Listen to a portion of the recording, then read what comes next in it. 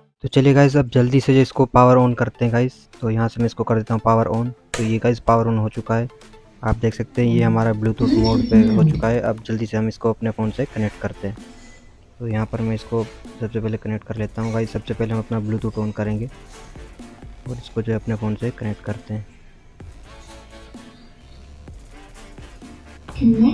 guys ये connect हो चुका